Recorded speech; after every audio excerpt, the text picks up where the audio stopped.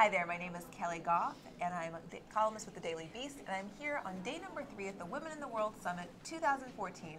I'm sitting here in the Toyota Solutions studio, and I am joined by Asenath Andrews, who is one of the panelists here today, and she has done some extraordinary work with teen girls and young women that she's going to tell us all about. Asenath, great to have you here. Great to be here. Glad to meet you. So um, I know that you are the founder of a school. Can you tell our audience a little bit about the school and what, what sets it apart from some of the other uh, institutions that are already out there? Um, our school is a school for pregnant parenting teens and their children. And we also, I think one of the things that kind of takes people by surprise is that we have a working farm on the school grounds. Wow. So we grow vegetables and milk goats and breed rabbits and collect eggs and make cheese. we do a lot of different things at our school. We've also done some work um, with uh, sending students to South Africa, and uh, last year we sent some kids to Ethiopia to work with some midwives in Ethiopia. So they built solar helmets, so as the midwives were doing deliveries, they would have ready light, and they wouldn't have to worry about electrical source out in the rural communities. Okay, I just have to say, the way that you've described the school, I think there are a lot of people who wish they had gone to a school like this. But your school is special because it, it, it, it, it's for pregnant parenting teens and their children. But we do have about 5 10% of girls who are not pregnant or parenting who we call the aunties. Oh, wow. So those are sometimes girls who've lost their children or um, whose sisters came to our school and just did such a turnaround. They were going, this school is magic, I've got to come. And so they come, they have to get special permission from the superintendent and they're admitted. Um, but they're like neighbor kids, you know, so if you act crazy or misbehave, see you, babe, you go home but almost never happens. Almost and you have an incredible success rate in terms of graduation, and, and tell, tell our audience a little bit about that. We, um, it is really difficult to, to uh, calculate a, a, a, graduation rate the way regular schools do because we don't know at what age or what grade kids will get pregnant. So we mm. get kids at every grade and every age depending on when they get pregnant. So some years ago, the National Association for Secondary School Principals took our 11th to 12th grade graduation and used that as our graduation rate, which is 90%. I think what's more significant is that every single girl who graduates from our school is accepted to a two or four year college before she leaves because it's required that you apply and get accepted.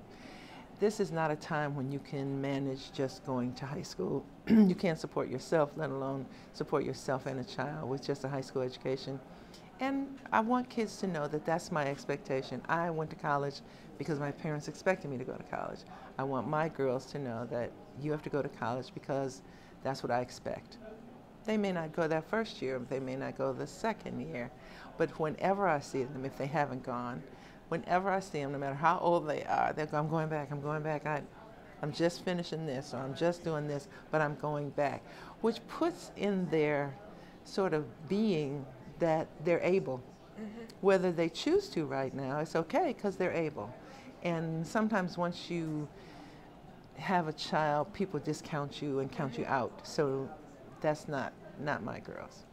Well, it's so interesting because one of the things that I realized is, is um, because uh, I have a family that has diverse class differences throughout mm-hmm, the family. Mm-hmm. I realized that one of the, the key distinctions is that for, for me growing up, it was never a question of if I go to college, it was always what go. college will you go to? Absolutely, mine too. And and it does make a difference in oh terms of how you sort of how you do push, everything. How you do everything. And you know the the threat in my house was if you well if you don't you don't get good grades and don't go to college, then you'll be cleaning houses in Birmingham, which is a suburb in Detroit.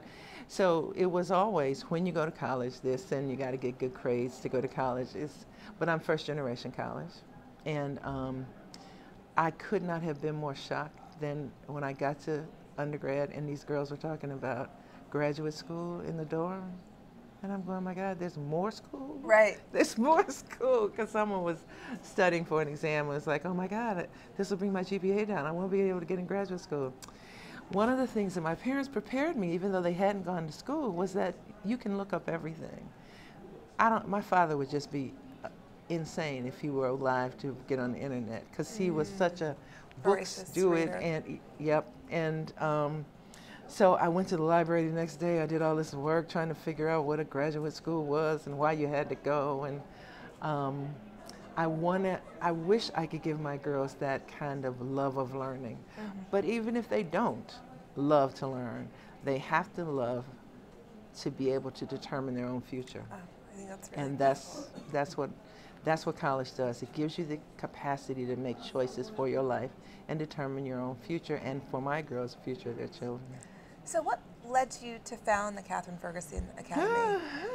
um, uh oh, this is, you said this like it's a very long story. This is, is usually a seven minute interview, but.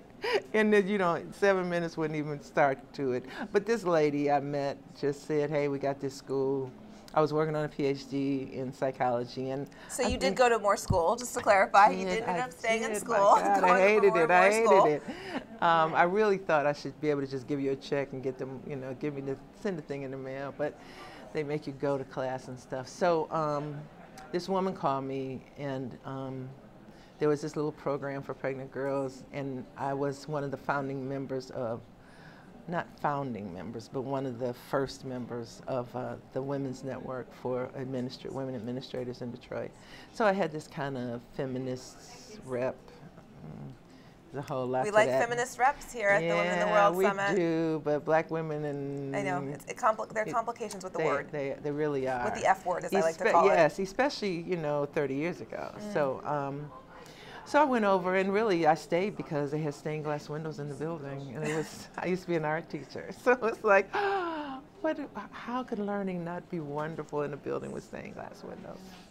And the rest is just I was stuck. History. And so now you're here being a history maker and changing things. Can you talk a little bit about how women in the world, and I know you've, uh, you've been here before, and how yeah. some of the relationships you've built here have helped you in the work that you do? It is pretty incredible. The, the diversity of women who show up here. Um, not just the women on the stage, but the women you meet over coffee, or the women you meet in the laboratory, or um, just walking back to the hotel.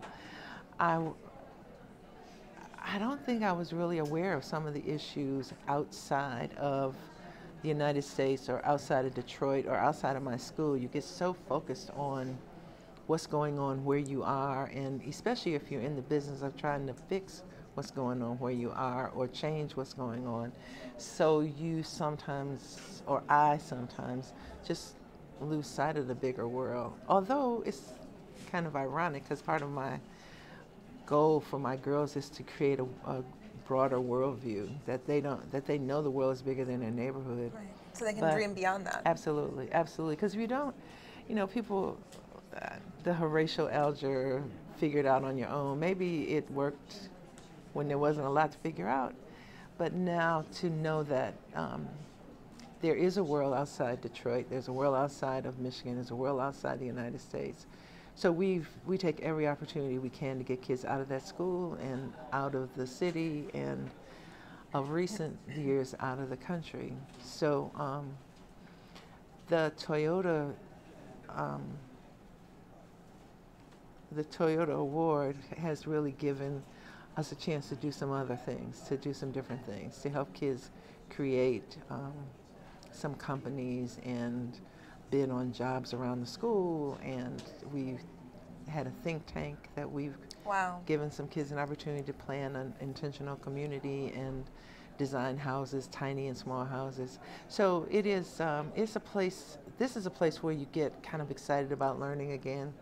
At the beginning of um, the day when I make announcements, the last thing I say to my girls is, when you leave here today, you should be smarter than you were when you got here, because smart is what you get, not what you are.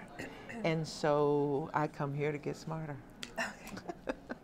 Well, we all come to hear women like you and to get inspired. So, and, ah. and you are definitely doing that. You're an inspiration, and so Thank it was you. great to have you here in the Toyota Solutions studio. Good to meet you. Um, especially since you're doing such extraordinary work, and, and Toyota was able to play a small part in that. Um, so, thanks so much for, for and we look forward to seeing you at next year's conference, hopefully. We'll see. I'm Keli Goff, and we are here in the Toyota Solutions Studio at the Women in the World Summit. I've been joined by Sina Andrews, who's the extraordinary founder of the Catherine Ferguson Academy and also a Toyota Award recipient here at the conference. So thanks for joining us.